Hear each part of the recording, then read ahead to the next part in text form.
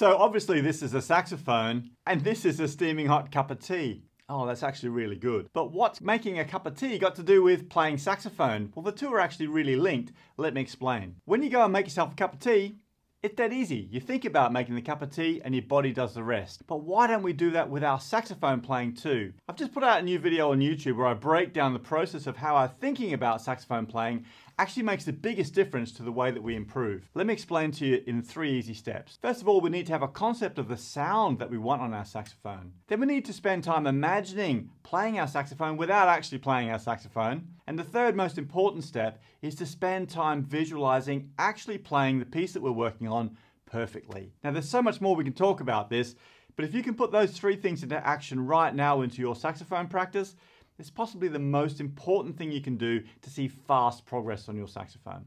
Oh, that's really good.